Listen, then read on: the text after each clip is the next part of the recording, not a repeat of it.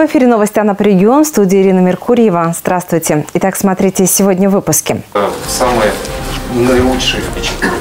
Мы Анапа снова в лидерах. Наш город вошел в тройку финалистов конкурса Министерства юстиции России в номинации «Местная демократия». Сегодня мы открываем э, доску Леонида Ивановича Севрюкова. Мужество и стойкость русских воинов бессмертны. В канун празднования Дня освобождения Анапы от немецко-фашистских захватчиков в городе открыли еще один мемориал памяти. Пусть к нам едут гости. Мы приглашаем всех. С праздником, любимая Анапа! Местные жители и гости курорта высказали свои пожелания и поздравления накануне празднования Дня города. В микрорайоне Трибы появится собственный кружок информатики и робототехники, а также студии вокала и актерского мастерства.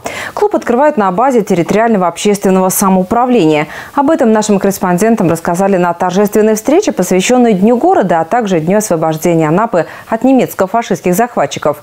На ней отметили самых неравнодушных жителей и подчеркнули, что активность населения постоянно растет. Появляются новые лица. Собирались под музыку. В холле Дома культуры «Молодежный» около 50 благодарственных писем от заместителя главы администрации курорта, трех депутатов, чьи округа находятся на территории Южного микрорайона. Это в основном многоэтажная застройка с самой большой плотностью населения в Анапе. Адресаты наград – представители территориального общественного самоуправления. Без вклада каждого из жителей невозможно себе представить такую, может быть, даже жемчужину или одну из жемчужин Черноморского побережья. Конечно же, Анапа – это динамично развивающийся муниципалитет. Мы понимаем, что, конечно же, это в первую очередь и детская здравница. И тысячи жителей России, не только России, каждый год к нам приезжают, видят, какие изменения у нас происходят в городе. В зале те, кто помогает Анапе становиться лучше. Проводники интересов населения. Через них информация поступает к депутатам и в администрацию муниципалитета. Помимо этого, они организуют субботники, проводят праздники во дворах. Общественная деятельность – которая затягивает и потом мерзкая. Но прежде всего мы восхищаемся этими людьми, потому что заниматься общественной деятельностью, совмещая это с работой, с личными делами, с семьей, это очень ответственно, почетно, и эти люди неравнодушные люди. Восхищение и слова благодарности этим людям. Мария Николаевна – медик по образованию. Помощь людям для нее скорее привычка. С 2010 года она в общественном самоуправлении. Была старшей по дому и сегодня в эпицентре всех событий. Я бы хотела, чтобы около наших домов все было красиво. И в домах наших было все красиво и хорошо. Вот и все, чтобы благодать была в нашем районе. Во дворе, где живет Мария Николаевна, начали облагораживать пустырь. Там будет детская площадка, тренажерный комплекс, зона отдыха. Из шести таких объектов, которые строятся в городе по программе «Комфортная городская среда», в этом году четыре в южном микрорайоне. Все это результат, в том числе, работы общественников. При этом активность населения растет. Люди приезжают, новые э, к нам приезжают каждый год постоянно, приходят с новыми идеями, с новыми предложениями, вливаются в активную общественную жизнь нашего микрорайона. Мы рады этому, приветствуем. Один из новых проектов – собственный клуб. Там будут преподавать вокал и актерское мастерство, а также информатику и робототехнику. Александр Ребека, Михаил Григорьев, Анапа регион. Анапа вошла в тройку лидеров финала конкурса Министерства юстиции России в номинации «Местная демократия», в которой оценивается работа органов территориального общественного самоуправления.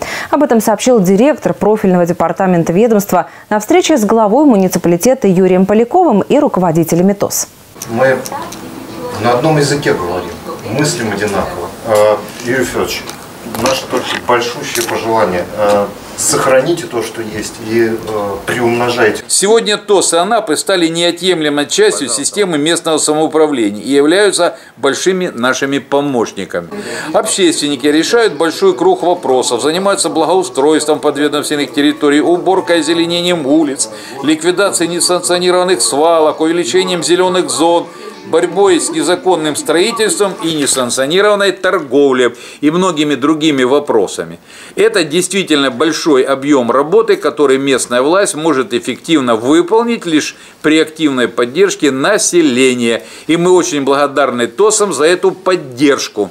Итоги конкурса подведут уже завтра на заседании федерального правительства. По словам представителей Минюста, шансы занять одно из призовых мест у анапчан достаточно неплохие. Делегация специально приехала в Анапу, чтобы пообщаться с представителями территориального общественного самоуправления, чтобы увидеть все своими глазами. Понравился очень чисто. Очень чисто, очень опрятный город. А, в него хочется возвращаться здесь отдыхать, проводить время э, с друзьями, оздоравливаться. Поэтому только самые наилучшие впечатления. Мы в здоровом теле здоровый дух. Анапские волонтеры серебряного возраста прошли медицинское обследование. Уверенная жизненная позиция, позитив, желание нести добро и помогать городу – это главное, что позволяет пенсионерам быть в прекрасной физической форме. По традиции медицинское обследование начинается с профилактической лекции. Специалисты Центра медицинской профилактики дают активистам полезные советы. В этом возрасте люди подвержены заболеваниям, поэтому в первую очередь необходимо следить за питанием. Цель была показать именно схемку примерно, как сделать это нужно, чтобы профилактировать уже грядущие осложнения в форме ожирения. То есть все это упирается в образ жизни, который привносят вот наши волонтеры в свою семью. Один из уникальных диагностических методов – это биоимпедансный анализ состава тела. Он позволяет оценить риск развития или наличия различных заболеваний, определить биологический возраст человека, выбрать оптимальный метод похудения и уровень физической нагрузки. Кроме этого, каждый смог проверить артериальное давление, обследовать сердце на кардиовизоре и проверить работу дыхательного аппарата очень быстро, комплексно и очень ну, оперативно так все делают. Сразу мы сдаем анализы, сразу результаты и сразу нам дают рекомендации. Мы теперь хоть... Э, я представляю, что надо делать. Сейчас группа волонтеров «Серебряный возраст» насчитывает порядка 80 активистов. Организация уже существует 7 лет. За это время они успели поработать на Олимпиаде в Сочи и Паралимпийских играх. Это действительно настоящий сплоченный коллектив, который расположился на базе одного из высших учебных заведений. Кроме этого, активисты тесно сотрудничают с администрацией города, участвуя практически во всех городских мероприятиях. Эту поддержку мы чувствуем по любому обращению, можно сказать. Я даже приведу сейчас пример буквально вчерашнего обращения. Вчера мы обратились с такой акцией, как 10 э, тысяч шагов к жизни, где э, хотим призвать наше население, молодежь. И э, администрация тут же подключилась и сказала, пожалуйста, мы поддерживаем эту. То есть такой вот административный ресурс, который нам, собственно, сегодня помогает реализовать наши проекты. Медицинское обследование показало, что все активисты абсолютно здоровы и трудоспособны. Впереди у волонтеров два напряженных дня. 21 сентября они принимают участие в праздновании освобождения Анапы от немецко-фашистских захватчиков, а уже 22 помогают в организации праздника День города. Руслан Душевский, Анапа регион. В канун празднования Дня освобождения Анапы от немецко-фашистских захватчиков в городе на одну мемориальную доску стало больше. В 1941 году летчик Леонид Иванович Севрюков в небе над Кубанью совершил настоящий подвиг. Пилоту было присвоено почетное звание Героя Советского Союза. Этот проект удалось реализовать благодаря тесному сотрудничеству местного отделения партии пенсионеров России, общественной организации «Опора России», политической организации партии Роста и городской администрации. Мемориальную доску установили на улице Ленина 178. Слова благодарности общественникам, э, настоящим патриотам, Анапы, активистам, э, кто делает эту замечательную работу. Это уже третья доска. Такие доски на территории муниципалитета есть э, героя Сампурова, героя Ивана Голубца. Сегодня мы открываем доску Леонида Ивановича Севрюкова.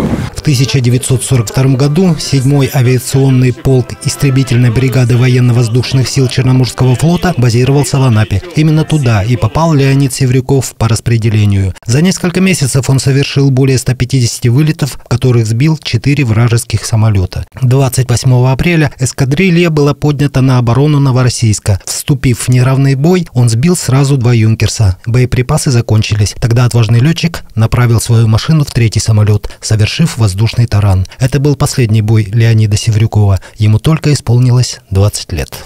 Не забывайте вот этих важных событий, которые произошли в период Великой Отечественной войны.